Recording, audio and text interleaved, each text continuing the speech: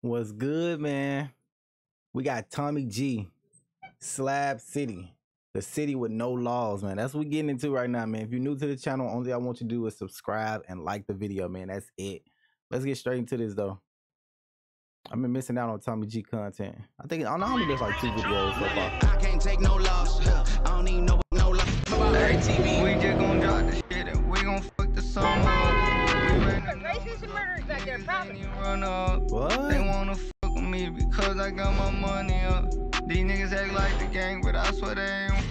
We leave the bustle of Los Angeles and take a four-hour drive through desert and desolate land to arrive at a spot known as Slab City. It's freedom. It's like a little city in itself. The city with no laws. This plot of land was once a military training facility known as Camp Dunlap. However, when that closed down in the 1950s, it became a city comprised of artists, nomads, squatters, outcasts, and retirees. It's a place hmm. where anything goes. In one moment, you may find yourself walking past clear signs of arson, and the next, you may find yourself sitting down with a peaceful old man talking about the meaning of life. People come here to escape the rules of society and to live a life of freedom. Today, we explore. Ah, this is like a no man's land type place. You just come here and whatever. Find a place to live and live. for Slab City.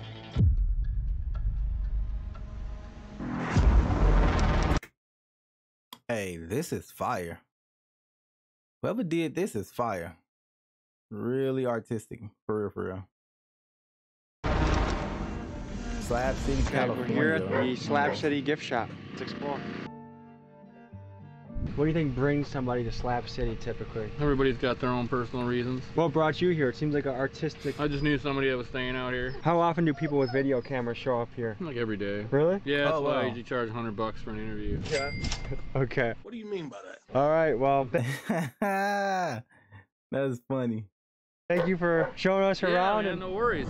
How'd you get the nickname Daddy? Because you take care of people? Yes, pretty much. I always have a, a bed and always got food for people. And it is the best and worst place I've ever been. What's the best mm-hmm. aspect? I have more friends here than anywhere else. Guess what I did five and a half years ago? I uh-huh. got on my bicycle and I rode here from New York City. No way. What?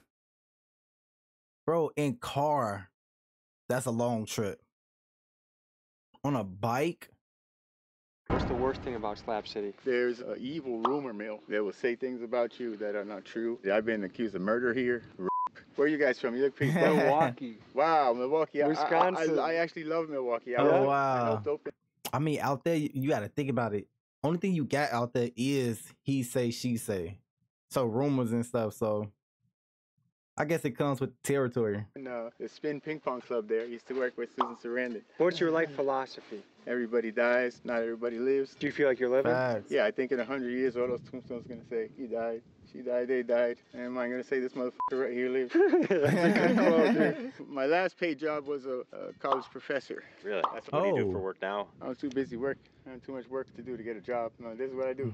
No, I'm always enough. working. Is there an alternate currency here, or how do people? Do you I need money to survive that here? Myself, actually, I tried to invent a currency here, but uh, generally we barter or cut out the middleman. So I always say, money is not wealth. Money is a measure of wealth. There was a girl here. She had a straight razor. I said, uh, I'll give you five bucks for that straight razor. She's like, ah, f- you, I don't want your money. I said, I'll give you some. She said, yeah, sure, I'll take it. I gave her the for the straight razor. She sticks her hand up on the road here and goes, you want some? To a lady riding by on a bike, and she's like, "I got cancer. Thank you so much." I mean, we, we live on a little bit of money, but less than fifty dollars a month. Before I was a professor, I was an engineer. I'm actually pretty well-known AI researcher. Wow, bro. You never know people background and where they came from. That's crazy, man. Got lots of talks online and all kind of stuff uh, from my my old life. Definitely gonna be hard to gauge how much That's of that crazy. was true. Oh no, he's definitely made all that shit up. I opened a spin ping pong. Talked to Susan Sinette and opened up a paintball place in Milwaukee. So he was an engineer, a bike deliverer. He saved lives Professor. and known AI. he saved lives, a known AI. AI researcher. This And he's a YouTuber. So far, you can already tell this is a place with characters. Alright, so we see a sign stop, donate, speak. Let's see if someone wants to talk. We saw the sign, we wanted to speak with somebody. Tell us where we are right now. I mean, right here in Slab City on Beal Road. The Where'd you come from, Prince, before you came here? I was in Columbus, Ohio. How'd you find yourself from Columbus, Ohio to here? Like I was having, you know, family Hey, low key though, you never know people background though. I ain't gonna say he. I ain't gonna say he made a hundred percent of all that up. Uh, uh, some of that, some of that could have been capped, but you never know, bro. You never know. family issues at the time, so I was like, yeah, I just wanted to do something different. I think I was just scrolling on YouTube and I was like, you know what? I really want to check this place out because I was like kept watching the videos. So honestly, I packed like two pair of shorts, two pair of shirts, and the socks, and I just drove across the country. What did your Like, family think when you made this move? It was definitely like some. What? That's crazy.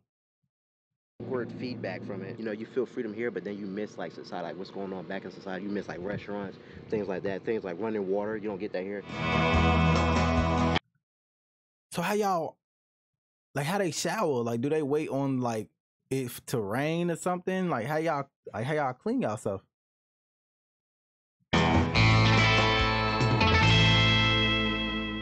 So I imagine psychedelics are an integral part of community here, as you can tell by some of the psilocybin art. I'm interested to see what we will find in terms of spirituality, psychedelics, and that things that people put in their body. Let's explore. So if we're looking at this map, folks, we see the range, the skate park, Oasis, the hostel. Does anything in particular stand out? Definitely the skate park. I'd say the cross made out of bullet holes. Oh, that's probably a skate park, that artistic stuff, because it do like a little slope you can go down and stuff. Yeah, I feel like that's the most dangerous part of the area.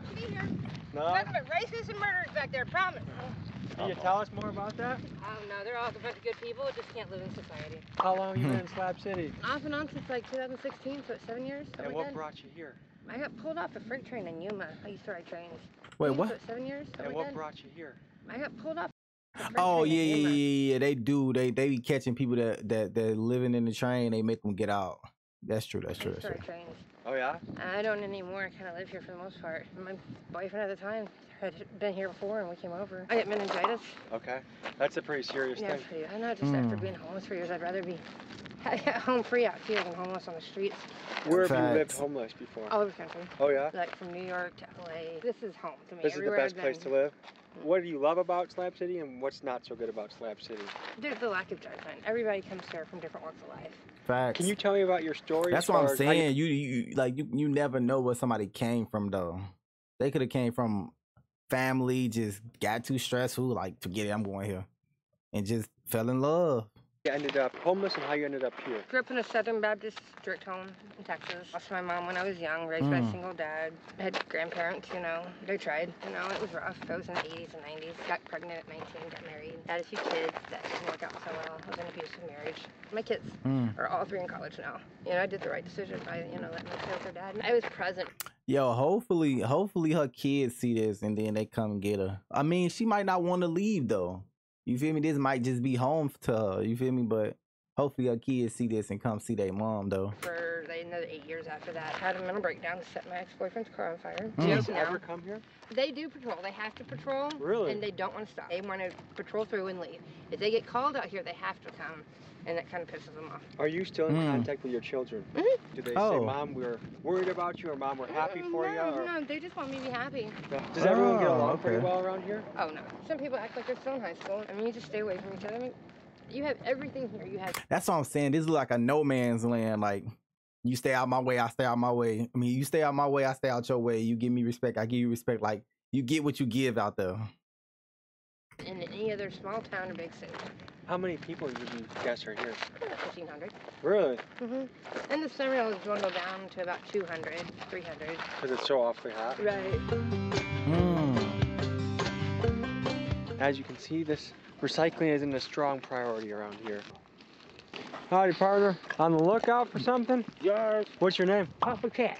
Papa Cat. Papa Cat. And what are you looking for a jar for? Nuts and bolts. Nuts and bolts. You guys need a tour guide? I think at the moment we're just kind of wandering around and bumping into folks. Part of the requirement, if you go on my tours, you have to microdose. My Yeah. You know, because this is a oh, strange wow. place, so it helps you kind of ease into it. I do it too. We can go, and I've got some mushrooms in my knapsack, and we can all microdose if you want to do that. What to you is a microdose? Are we talking Not much. Do you need a tour guide? At the moment, I think we're gonna just pursue this on foot. But Where are you guys from? We're from Milwaukee, Wisconsin. Yeah. Don't don't don't do no mushrooms with no stranger, no strange person, bro.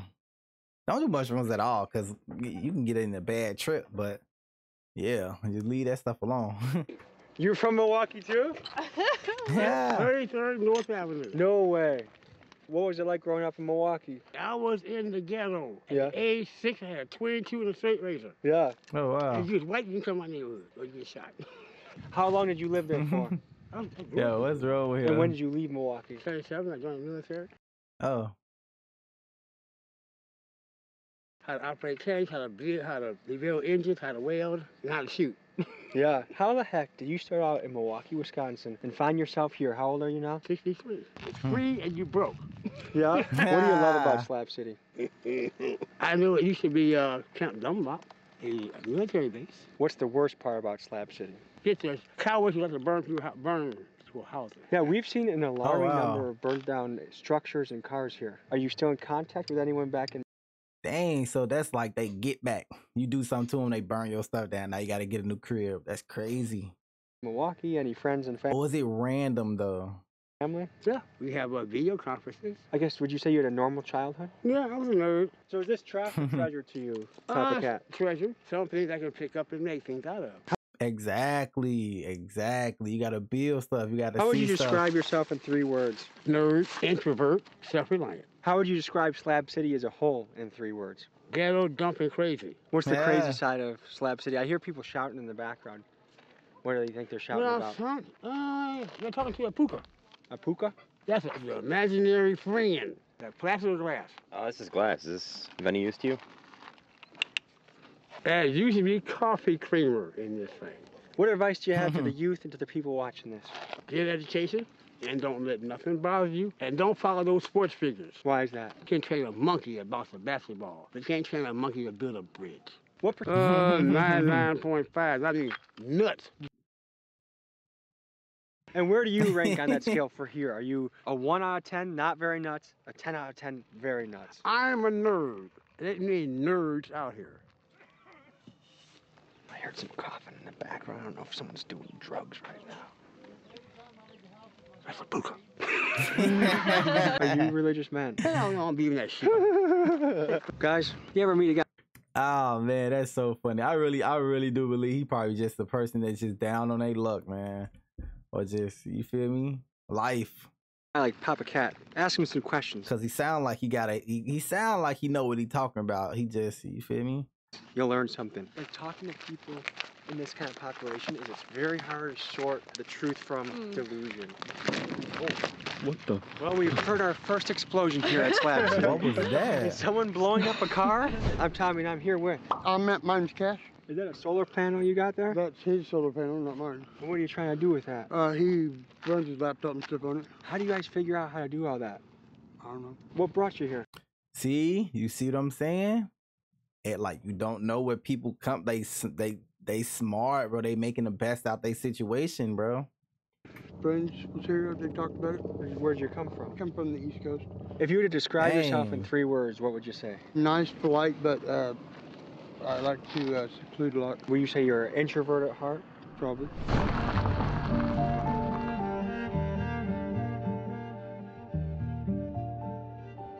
Bro, this night shift for be treacherous, boy. I don't know. I don't know about this place night shift. With a red roof. I think I see it down yonder. Well, hello there. We were questing around and we were told come to the place with a red roof. Are you okay if we ask you a couple questions? Depends. Are you guys feds? You don't look like. no, we don't have any wires on our chest. We were just. That's what a guy who has wires on his chest would say. and now you saw my nipples, which I don't know if we can continue the conversation. Sorry, man. Okay, I'll try and focus. What the heck can you tell us about this place that we're at? It's filled with interesting people. I've met a bunch from so far. You haven't met them all. Are there a lot of nomadic folks here that come and go? Well, depend on their parole situation. Yeah. Are there a lot of former uh, inmates here? That's what I've heard, yeah. Uh, You get really nice, wonderful people, and you get some who uh, you'd rather not meet. How do you describe yourself in three? There's the like like a spot and like you were running to in like the Walking Dead, like a community. You don't know it's a community, then people just start popping out of places. words? Uh oh. Uh oh. Uh, hungry, thirsty, mobile. Are you happy? Sorta, kinda, yeah. This is a happier place than most. Can yeah. you tell me more about that? You don't need an expensive lifestyle to be here. What is your Hmm. life philosophy? Right now, Like really here, you just gotta make like this is one of them places like you are like it is what you make it type type. Cause you can build it like if you know how to build, like you know how to do carpentry, you can build you a nice spot out here. For real. and be good. Or, you know, Now it's food, shelter, you know, the basics. That's all you really need. This might be going down deep territory, but what would you say the average person here, their home life? Was it good? Was it really tough? Oh boy, you got a mixed bag. I'd say there is evidence that some people have been through a lot. trauma. That's something that you cannot hide, bro. Once you start talking to people and digging into their mind, trauma is just you just dig up some skeletons in there.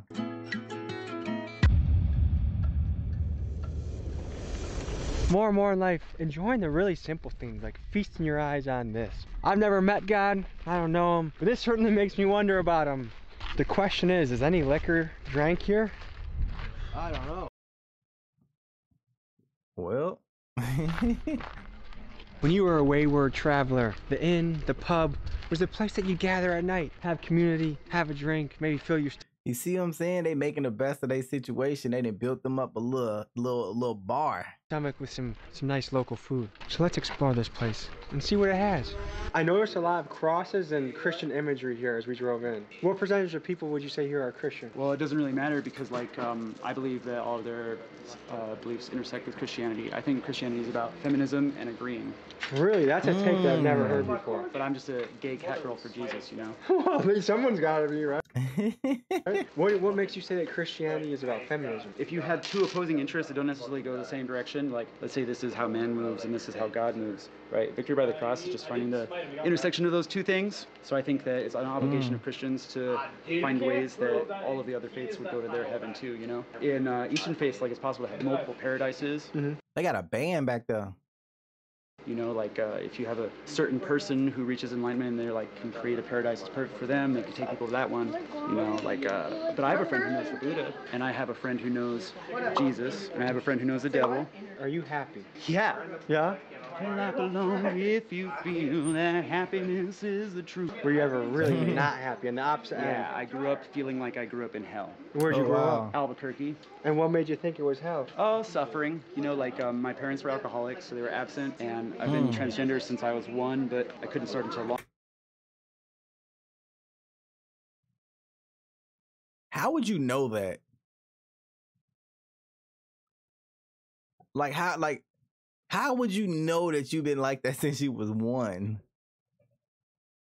When do your memory even kick in? Ain't it like three or something like that?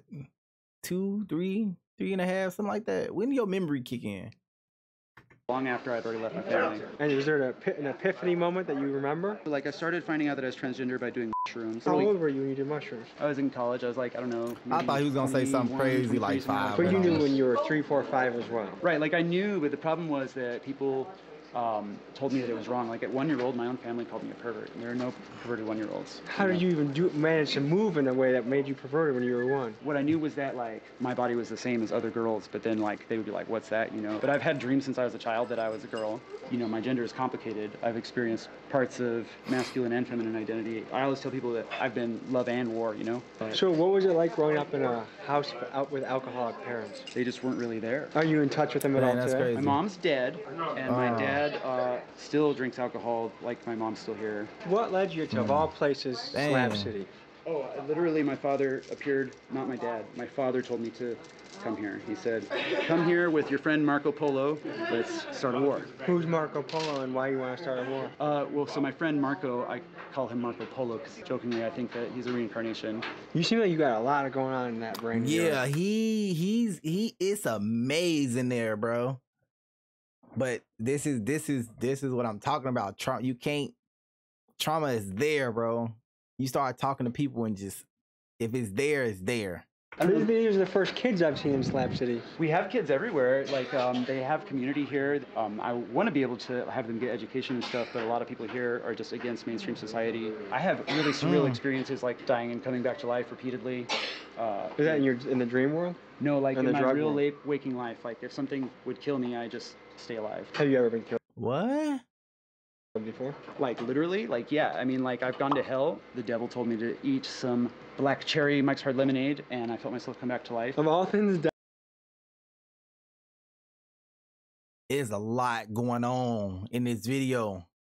It is a lot going on. I'm so confused right now. No one could have recommended. I feel like you could have made a better choice. We're gonna continue our tour of the area, and I appreciate you talking with us. Have a great day. Talk to the kids. Yeah. So this is California Ponderosa. I want to. I It's- want. I want to hear the kids side of what what's going on in there. It's a family-run place. The lady that owns it, she has teenage kids. The school bus picks them up right here. Slab City in three oh, words. It's a unique place. I guess, yeah. Two is good enough sometimes. And what led you to this place? You could be anywhere in the world right Yeah. now, and we're here together in Yes. Slab City. I'm having a midlife crisis. Well, Hmm. better than a quarter life or a third life, right? what led to this midlife crisis? Um, so COVID happened, right? Yeah, right. Changed the whole damn world. Right. Yes. And then right about a year into it, my last child grew up and moved out of the house. I got rid of my house and all my things, and I bought a motorhome, and now I stay here in the winter. and how has that changed your Oh, life? wow. I feel a whole lot better. Yeah? Yeah. Was see it what happens. terrifying to make this leap? Yes. Ah, she said she stay there in the winter. So I guess when it get hot outside, like they say, it, a lot of people leave because it's California. So makes sense. Don't want to be in the desert in the heat. Can I first say that it smells gall darn delicious Gall back darn here? delicious. So what is it like being a kid in Slab City?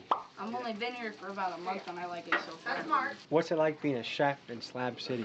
It's different. What's your favorite thing from the kitchen? My favorite thing probably the snitch, schnitzel or the chili. You live a vastly different life than the average kid your age. Oh yeah. What are the benefits? What are the pros and cons of how you're living right now? You don't really have to worry about like the city and all the noises coming around. You don't hear cars a lot. How would you rate the community here? I mean, I like it. I think the overall community pretty cool. Yeah. A lot of people come here because they don't have a place to cut. Like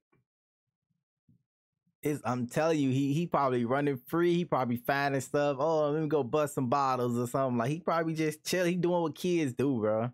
Kids bust bottles, bust windows out. He probably just doing regular kid stuff. If he skate, he probably at the park. they live or mm-hmm. they got booted from their family, disowned. So yeah, they so they start something new. Like Would you say you're happy? most of the time, yes. And are you happier here than you were in other parts of your life, or less happy? How would you say? About let's see, this would be the second place I would like. The first place is being back in Germany with family too. Back in Germany? Mm. Are you German by? I'm first generation German American. Really? Yeah. Oh, wow. The worst part is the summer. Summer sucks. Because The heat. Um, the you know, heat is California. California. Yay. The heat is it's pretty much crazy during the summer. as a kid navigating this world, I don't know if you can tell, but a fair amount of the inhabitants have a strong habit of, of different drugs.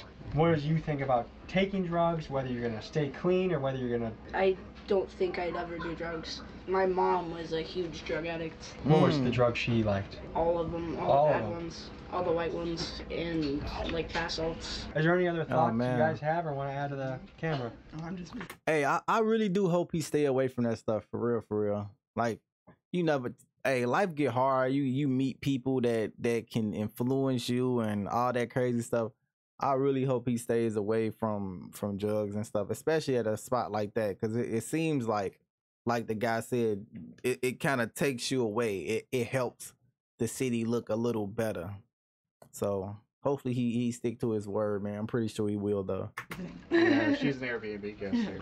You can book an Airbnb here. Yeah, there's three of them. If you don't mind me asking, what does an Airbnb in Slab City go for? Well, depending on the place, really. Here, I think it's thirty-three dollars. I think we should eat. I think we should enjoy the community, and we'll see you guys in just a couple minutes. If I gotta go to the bathroom, should I just find the best bush available, or is there Damien, will you show them where the bathroom is actually? Till anywhere you are? bush you need to know available.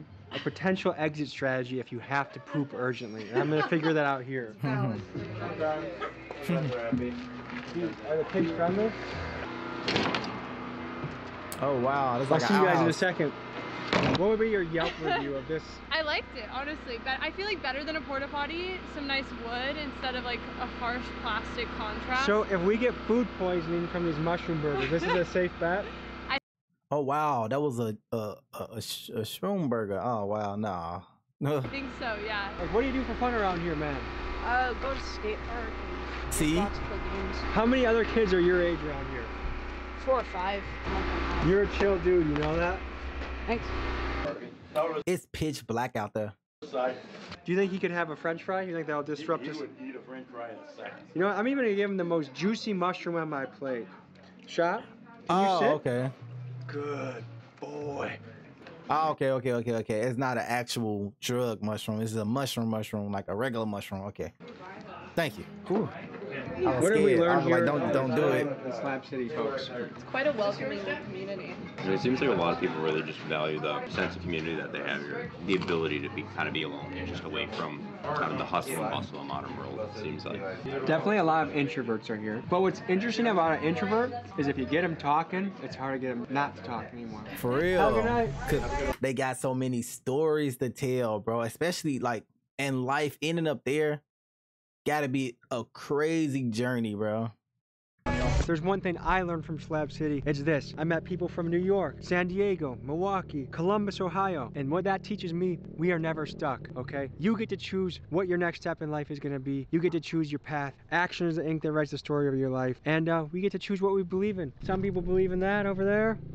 Some people take some substances and see lots of visions. You only have one life. Be sure to live it. Be kind, be nice, be thoughtful, and listen to each other. We have a lot to learn. I'll see you next week. It's a W, bro.